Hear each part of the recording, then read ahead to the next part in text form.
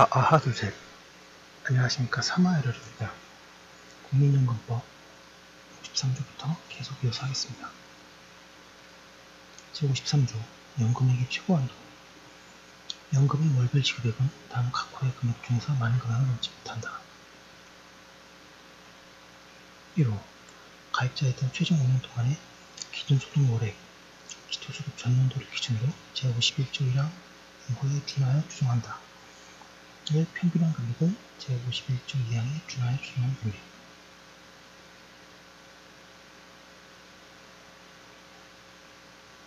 2호 가입 기간 동안의 기준소득월액 연금수급 기준인도를 기준으로 제51조 1항 2호에 준하여 추정한다. 의 평균한 금액을 제51조 2항에 준하여 추정한 금액. 말이 어렵지만 차분하게 보시면 다 이해가실 거고요. 53조 연금액의 최고 한도 연금의 월별 지급액은 다음 각 호의 금액 중에서 많은 금액을 넘지 못한다.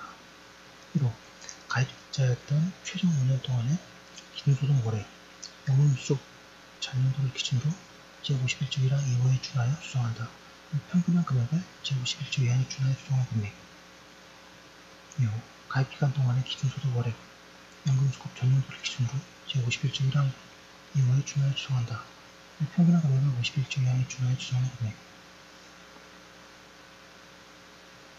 제54조 연금 지급 기간 및 지급 시기 제1항 연금은 지급하여야 할 사유가 생긴 날 제78조 1항에 따른 반납금 제90조 1항에 따른 추납보험료 또는 체납된 연금보험료를 냄에 따라 연금을 지급해야 할 사유가 생긴 경우에는 해당 금액을 낸 날에 속하는 달의 다음 달부터 수급액이 소멸한 날에 속하는 달까지 지급한다.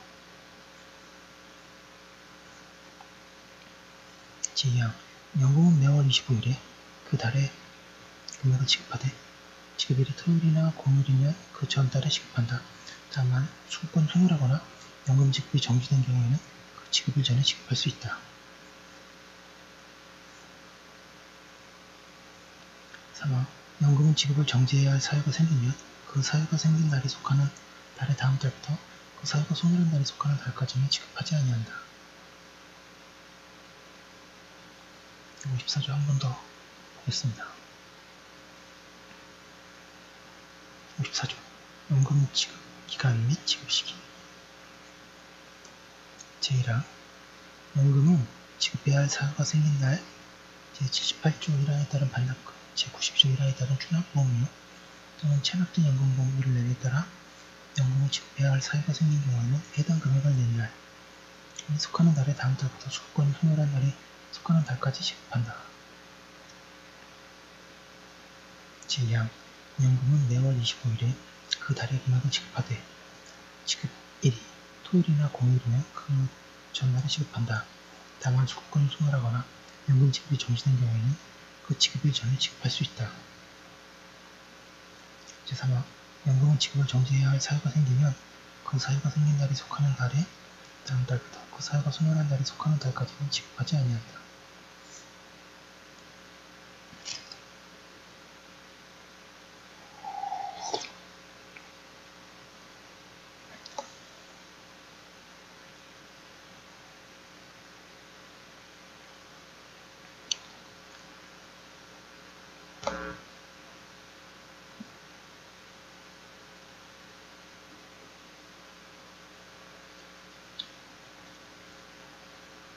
54조의 급여수급 전용계좌 제1항 수주권자는 제58조 유형에 따라 대통령으로 정하는 금액 이하의 금액을 본인명으로 지정된 계좌 이하 급여수급 전용계좌라고 한다. 로 입금하도록 공단에 신청할 수 있으며 이 경우 공단은 급여를 급여수급 전용계좌로 입금하여야 한다. 제2항 공단은 제1항에도 불구하고 전국통신장애나 그밖에 대통령으로 정하는 불가피한 사유로 급여를 수급, 급여 수급 전용 계좌로 위치할 수 없을 때에는 현금으로 지급하는 등 대통령으로 정하는 바에 따라 급여를 지급할 수 있다. 제3항 급여 수급 전용 계좌가 개설된 금융기관은 급여만이 급여 수급 전용 계좌에 입금이 되도록 하고 이를 관리하여야 한다. 제4항 제1항에 따른 신청 방법, 절차와 제3항에 따른 급여 수급 전용 계좌의 관리에 필요한 사항은 대통령으로 정한다.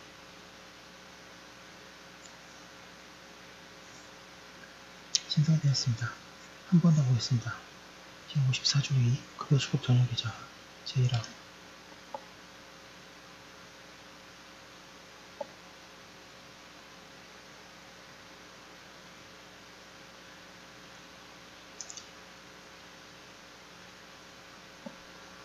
수급자는 제58조 2항에 따라 대통령령으로 정하는 금액 이하의 급여를 본인 명의에 지정된 계좌 이하 급여 수급 전용 계좌라고 한다. 또 입금하도록 공단에 신청할 수 있으며 이 경우 공단은 급여를 급여 수급 전용 계좌로 입금하여야 한다. 제2항 공단은 제1항에도 불구하고 정보통신장애나 그 밖의 대통령령으로 정하는 불가피한 사유로 급여를 급여 수급 전용 계좌로 이체할 수 없을 때에는 현금으로 지급하는 등 대통령령으로 정하는 바에 따라 급여를 지급할 수 있다. 3항 급여수급 전용계좌가 개설된 금융기관은 급여만이 급여수급 전용계좌로 입금되도록 하고 이를 관리하여야 한다. 제4항 제1항에 따른 신청 방법, 절차와 제3항에 따른 급여수급 전용계좌의 관리에 필요한 사항은 대통령으로 정한다.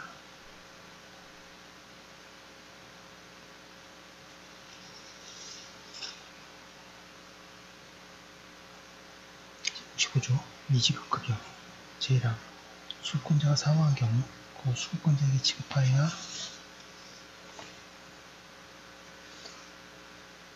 할 급여 중 아직 지급되지 아니한 것이 있으면 그 배우자, 자녀, 부모, 손자녀, 조부모 또는 형제자매의 청구에 따라 미지급 급여를 지급한다. 다만 가출, 실종 등 대통령으로 정하는 경우에 해당하는 사람에게는 지급하지 아니하며 형제자매의 경우에는 대상령으로 정하는 바에 따라 수권자의 사망 당시 위법 제27조 제1항에 따른 실종 선고를 받은 경우에는 실종 기간의 개시 당시를 같은 조 제2항에 따른 실종 선고를 받은 경우에는 사망의 원인이 된 인연 발생 당시를 말한다. 수호권자에 의하여 생계를 유지하고 있던 사람에게만 지급한다. 제2항 제1항에 따른 급여를 받을 수 있는 배우자, 자녀, 부모, 손자녀, 조부모, 형제, 자매의 수로 한다. 이 경우 수녀 같은 사람이 부모 이상이면 똑같이 나눠 지급받아 그 지급하는 부분 대통령으로 말한다. 제3항 제1항에 따른 미지급급여는 수호권자가 사망한 날부터 5년 이내에 청구하여야 한다. 신설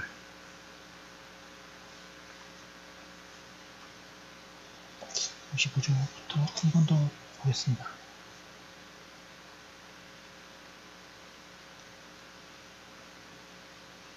제55조 미지급급여 제1항 수급권자가 사망한 경우 그 수급권자에게 지급하여야 할 급여 중 아직 지급되지 아니한 것이 있으면 배우자, 자녀, 부모, 손자녀, 조부모 또는 형제자매의 청구에 따라 미지급 급여를 지급한다. 다만 가출, 실종 등 대통령으로 정하는 경우에 해당하는 사람에게는 지급하지 아니하며 형제자매의 경우에는 대통령으로 정하는 바에 따라 수급권자의 사망 당시 위법 제27조 1항에 따른 실종 선고를 받은 경우는 실종 기간의 개시 당시를 같은 조 2항에 따른 실종 선고를 받은 경우는 사망의 원인이 된 위난 발생 당시를 말한다. 수권자에 의하여 생계를 유지하고 있던 사람에게만 지급한다. 제2항 제1항에 따른 급여를 받을 순위는 배우자, 자녀, 부모, 손자녀, 조부모, 형제, 자매에 순서한다.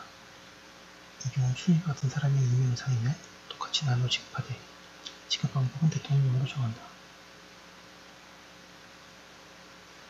3항 제1항에 따른 미지급급여는 수급권자가 사망한 날부터 5년 이내에 청구하여야 한다.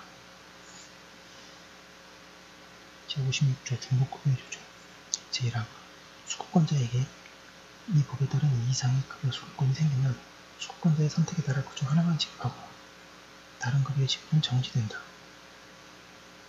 제2항 제1항에도 불구하고 제1항에 따라 선택하지 아니한 급여가 다음 어느 하나에 해당하는 경우에는 해당으로 규정된 금액은 선택한 급여에 추가하여 지급한다. 1호 선택하지 아니한 급여가 유족연금일 때 선택한 급여가 반환이 지급일 때를 제외한다. 유족연금액의 100분 30에 해당하는 금액 2호 선택하지 아니한 급여가 반환이 지급일 때 선택한 급여가 장애연금이고 선택하지 아니한 급여가 본인의 연금 부분이라고 보이면 반환이 지급일 때를 제외한다. 이제 80주 이하에 상당하는 금액. 네, 이렇게 정리된다는 거고요. 56주 한번더 읽겠습니다.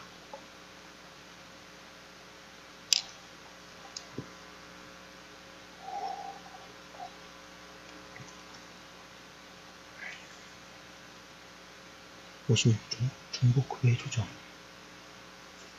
제1항 수급권자에게 이 법에 따른 이 이상의 급여 수급권이 생기면 수급권자의 선택에 따라 그 중 하나만 지급하고 다른 급여의 지급은 정지된다.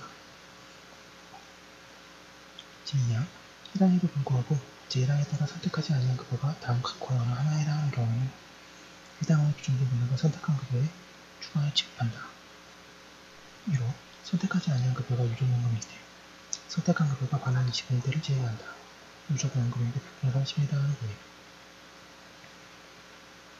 2호 선택하지 아니한 급여가 반환 20일 때 선택한 급여가 장애 연금이고 선택하지 아니한 급여가 본인의 연금 보험료 납부에는 반환 20일 때를 제외한다. 80주 이하 상당한 금액입니다. 여기서 한번 멈추고